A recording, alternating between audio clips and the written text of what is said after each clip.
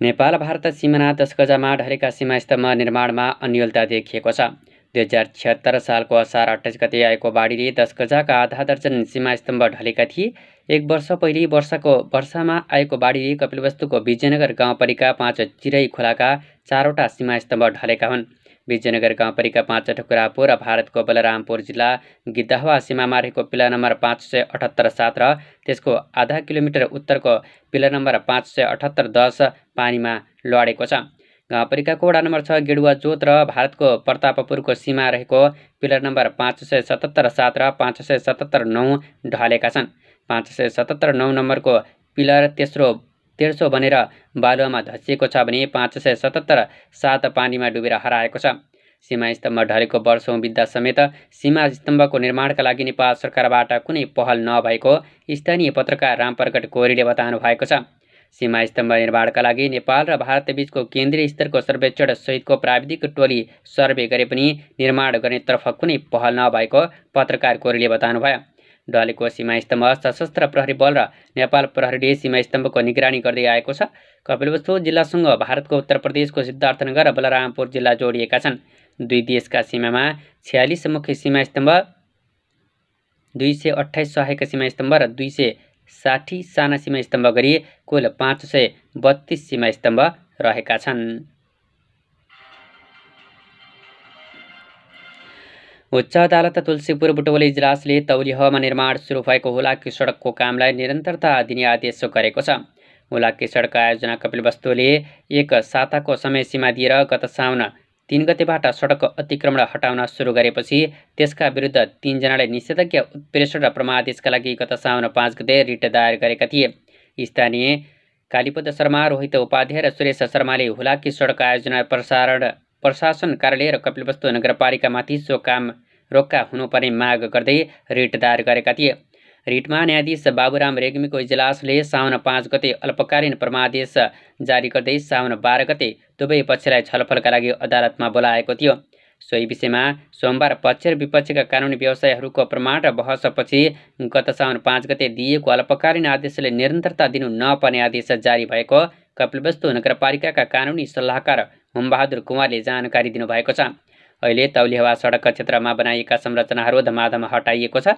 तौलिहवाको जमुहा टोलदेखि जमुहार टोलदेखि छोटकी तौलिहवाको मस्जिदसम्म तेइस सय चालिस मिटर दुई सय त्रिहत्तरवटा संरचना सडक क्षेत्रमा छन्। यस्तै जमुहारदेखि भवानी बिचुसम्म भने पाँच सय त्रिहत्तरवटा संरचना सडकमा परेको कपिलवस्तु नगरपालिकाले जनाएको छ।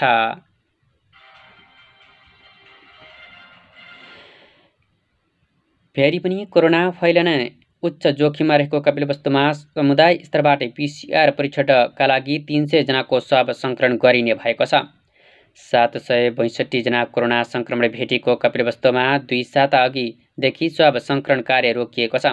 लकडाउन खोलेपछि बजार समुदायमा चहलपहल बढेको छ। यस्तै छिमेकी देश भारतसँग सीमा जोडीका भारतीय बजारमा रहेका समुदायमा समेत कोरोना सङ्क्रमण फैलिएको छ। जसले गर्दा कपिलवस्तुमा समुदायमा समेत कोरोना फैलिने देखिएको हो। जिल्लासँग सीमा जोडीको सोहरतगढ क्षेत्रमा पचास र बडनी बजारमा पाँचजना समुदाय स्तरमा नै कोरोना सङ्क्रमित भेटिएको भारतीय अधिकारीहरूले बताएका छन्। लकडाउन खोलिनु चहलपहल बढ्नु र भारतीय बजारहरूमा समेत कोरोना सङ्क्रमित देखिएपछि कपिलवस्तुका समुदाय स्तरमा कोरोना फैलने उच्च जोखिम बढेको स्वास्थ्य कर्मीहरूले बताएका छन्। समुदाय स्तरमै कोरोना फैलन सक्ने देखिएकाले यथार्थ अवस्था पत्ता लगाउन समुदाय र पेसाका लागि तिन सयजनाको स्वाब सङ्कलन कार्य सुरु गर्न लागि जिल्ला स्वास्थ्य कार्यालयका कोरोना फक्ल पर्सन कुमार थापाले बताउनु भएको छ। सुरक्षाकर्मी व्यापारी बैङ्क कर्मचारी पालिकामा काम गर्ने कर्मचारी र समुदाय गरी तिन सयजनाको पिसिआरका लागि आजदेखि स्वाब सङ्कलन कार्य सुरु गरिनेछ। एक सय अडसट्ठीजना सङ्क्रमित देखिएको यशोधरा र एक सय बाइसजना सङ्क्रमित भेटिएको महाराजगञ्ज नगरपालिकामा सय सयजनाको स्वाब सङ्कलन गरिनेछ। त्यहाँ रहेका सङ्क्रमित परिवार विदेशबाट आएकाहरूको स्वाब सङ्कलन गरिनेछ।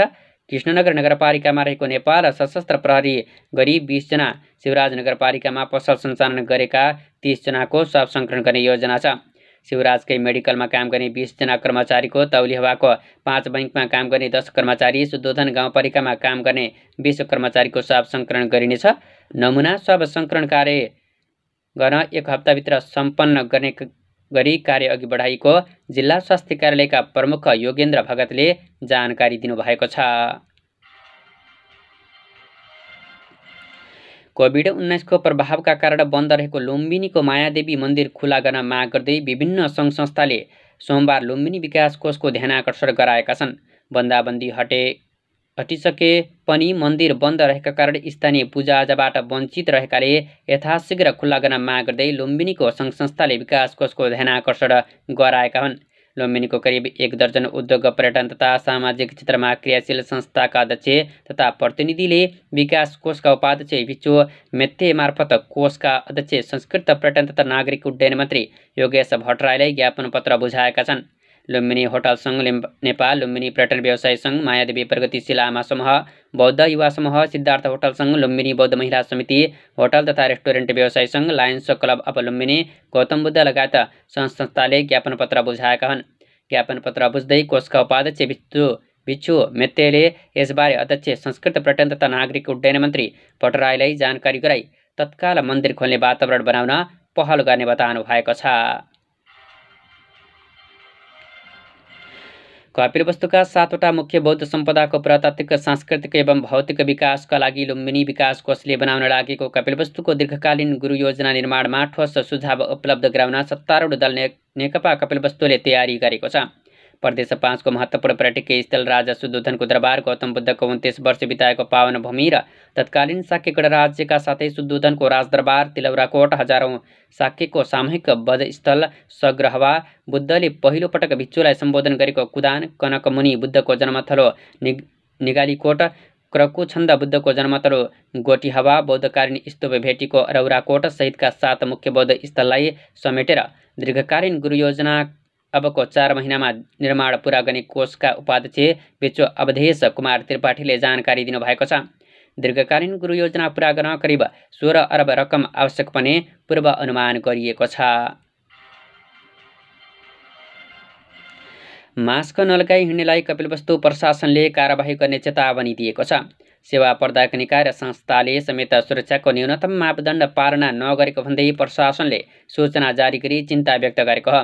कोरोना नियन्त्रण रोकथाम र प्रतिकार्य सम्बन्धमा निशर्त निश्चित शर्त र मापदण्डका आधारमा केही सेवा र कार्यहरू खुल्ला र सहजीकरण गरिए पनि सामाजिक दूरी कायम नभएको मास्क नलगाई हिँड्ने र अनावश्यक भिडभाड गर्ने गरिएको प्रति प्रशासनले सबैलाई सचेत हुन आग्रह गरेको छ। यस्तो कार्यले कोरोनाको जोखिम झन बढ्दै गएकाले स्वास्थ्य सुरक्षा सम्बन्धी मापदण्ड अनिवार्य पालना गर्न प्रशासनले अपिल गरेको छ। घर बाहिर निस्कदा अनिवार्य मास्क लगाएर हिँड्न आग्रह गर्दै सामाजिक दूरी कायम गर्न मास्क लगाई हिँड्न र अनावश्यक भिडभाड नगर्न आग्रह गरेको हो। यदि नियम पालना भएको नदेखिमा प्रशासनले सङ्क्रमण एन दुई हजार बिस अनुसार कडा कारवाही गरिने चेतावनी दिएको छ। नेकपा स्थायी समिति बैठक आज बिहान एघार बजेका लागि तोकिएको छ। अध्यक्ष पुष्पकमल दाहाललाई वरिष्ठ नेता झमला झलनाथ खनाल माधव कुमार नेपाल प्रवक्ता नारायण काजी श्रेष्ठले आजको बैठक नरोक्न र प्रधानमन्त्री सहमतिमा नआए पनि पार्टी कमिटीबाट बहुमत र अल्पमतकै आधारमा निर्णय प्रक्रियामा जान दबाव बढाएका छन्। दाहालले पनि अब प्रक्रिया नरोक्ने पार्टीको नियमित एजेन्डामै छलफललाई फर्काउने गरी जाने धारणा नेताहरूसँगको छलफलका क्रममा व्यक्त गरेका हुन्। दस असारदेखि जारी स्थायी समिति बैठकमा प्रधानमन्त्री एवं अध्यक्ष केपी शर्मा ओलीको राजीनामाको विषयले प्रवेश पाएपछि विवाद उत्कर्षमा छ।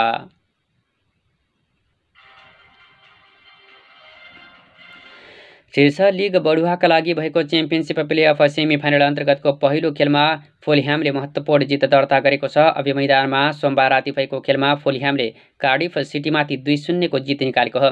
उसका लागि उनपचासौँ मिनटमा जोस उनुमाह र इन्जुरी समयको पहिलो अर्थात् एकानब्बे मिनटमा निस्किन्स बेबानोले गोल गरेर जित दिलाएका हुन्। एकासी अङ्कसहित चौथो स्थानमा रहेर च्याम्पियनसिपको यो सिजन टुङ्ग्याएको फोनिहामले इङ्ग्लिस प्रिमियर लिगमा बढुवा हुनुको लागि बाँकी रहेको एक स्थानमा पर्न अरू तीन क्लब ब्रेन्टफोर्ड कार्डिफ र स्वान्सी सिटीलाई पछि पार्नुपर्ने हुन्छ। प्लेअफको अर्को सेमी फाइनलमा ब्रेन्टफोर्ड र स्वान्सी सिटी प्रतिस्पर्धा गर्नेछन्। दुई लेगको सेमी फाइनलमा विजयी भएको टिम प्रिमियर लिग स्थानका लागि प्लेअफ फाइनलमा प्रतिस्पर्धा गर्नेछन्। आज दिउँसो देशभर अधिकांश क्षेत्रमा बदलिरही धेरैजसो स्थानमा हल्कादेखि मध्यम वर्षाको सम्भावना रहेको विभागले जनाएको छ। प्रदेश एक प्रदेश दुई बागमती गण्डकी र प्रदेश पाँचका केही स्थानहरू तथा कर्णाली र सुदूरपश्चिम प्रदेशका एक एक दु एक दुई स्थानमा मेघगर्जन र चट्याङसहित भारी वर्षाको सम्भावना रहेको विभागले जनाएको छ। त्यसै गरी आज राति देशभर अधिकांश क्षेत्रको मौसममा बदलिरही धेरैजसो स्थानमा हल्कादेखि मध्यम वर्षाको सम्भावना रहेको पनि जनाएको छ। हवस् त सामुदायिक रेडियो विजयनगर एक सय दशमलव सात मेगाहर्जसँगै रेडियो विजयनगरको फेसबुक पेजबाट विश्वभरिकै साथ प्रसारण भएको बिहान आठ बजेको विजयनगर अपडेट यहीँ सकिन्छ। प्राविधिकका साथैसँगै म पनि बिदा हुन्छु। नमस्कार।